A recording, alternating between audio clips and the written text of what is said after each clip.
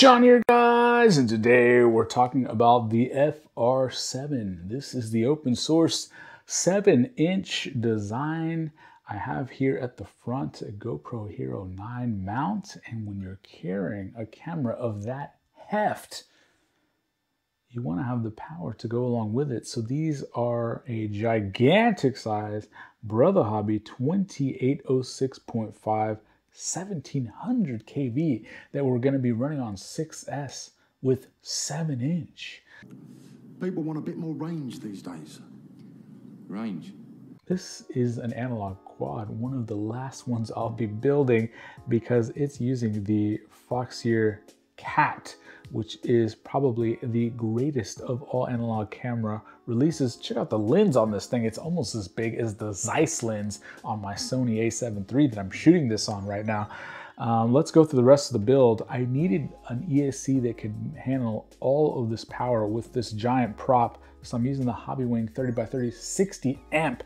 I have the Furious FPV um, flight controller up here with the Real Pit system and then for my video transmitter, I'm using the AKK Race Ranger along with uh, Team Black Sheep Crossfire. Of course, I have my Immortal T up here. If I was gonna do more of a long range, I would mount it vertical on the side, which you could do on the side here, no problem.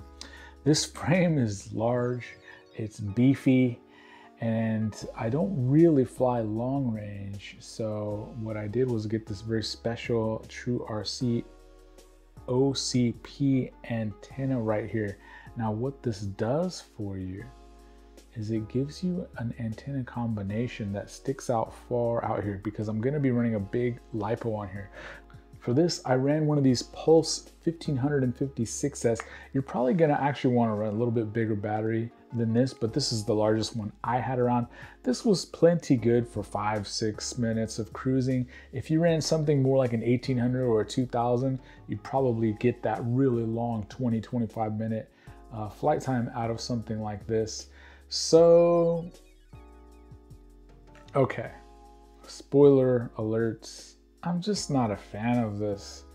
I just don't care about seven inch or long range but I wanted to at least try it and note what the differences are.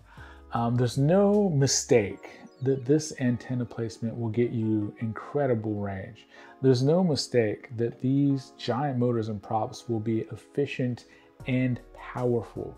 You know what the biggest thing that jumped out at me is, is that the cruising speed as you increase the prop size is much higher. So the thing is when you're only going about 40, 50, 60% throttle in those mid ranges, in a five inch quad, you'd be cruising around like 40 miles an hour maybe. This cruising around, you're going like 50 to 60. So yes, you're like not all the way on the throttle, but it is moving at a brisk pace. And so that is kind of cool. It'll help you get there and back a lot faster. Um, speaking of that, having that extra size and speed did make for some really smooth footage, some smooth flight. Uh, it was kind of a windy day, so even though this is heavy, these 7-inch props do kind of catch the wind a little bit, but it still did very admirably. The real question is, with these micro long range builds out now, are you really going to want to go long range with a 7 inch when you could get just as much flight time, probably even more with a Flywoo Explorer? Well, it depends. I think this can carry this longer antenna, which is going to be better for long range. This is going to be very efficient as well. You can have a very large battery. It's going to help manage the weight and have a little bit more authority. If I was going down a mountain where there could be gusts of wind, having the extra power on tap could be the difference between you blowing into the canyon side or just managing through that wind no problem. The other reason why you're going to want to go with this is if you're going to want to carry the best camera possible, GoPro Hero 9 on this sucker, which is the footage you're going to see at the end. Um, so the Flywoo Explorer is a really nice long range tool, but I wouldn't put anything bigger than maybe a naked camera on here. I don't think anybody's making naked Hero 9s, and to me, that's the best looking footage out there unless you go up to a Cinelifter. So this does have a place in the hobby. You long range heads, you, I see why you like this. The speed is actually something I didn't expect, and I can see how it's addicting because it's speed at a low to mid range throttle.